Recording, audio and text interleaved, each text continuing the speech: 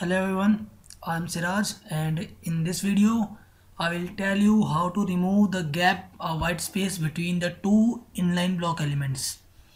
Here you can see there are two elements approve electronics and second one is approve electronics. I mean the name is same but the color is different and there is a white space between them. So first of all check that what this white space, what is this white space that is it is is it padding or margin or what it is so here I'm opening the source code by tapping Ctrl Shift and C in Google Chrome. So first of all I'll select the whole parent division which is WL words as you can see here.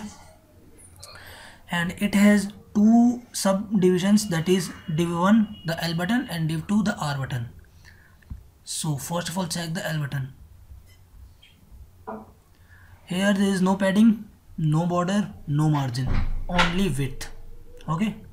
And the same in the case of R button there is no margin no padding nothing. So what is this white space?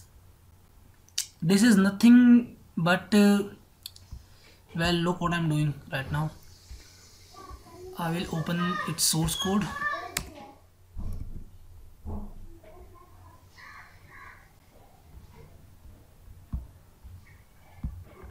here's the source code of the of that div uh, just uh, uh, watch between these two comment lines.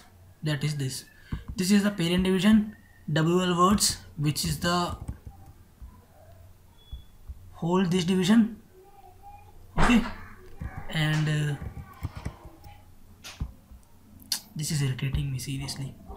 And there are two child divisions that is L button and R button.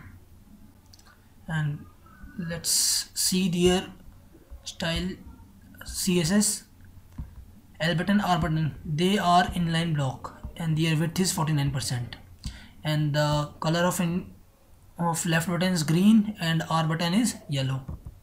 Okay this is. Now what I have to do is remove this white space. You don't have to do anything just keep these two division in one line.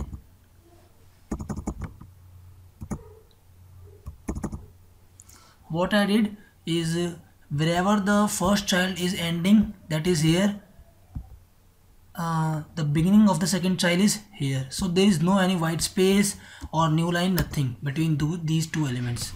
So by just removing this you will not have longer this white space so I'm going to refresh.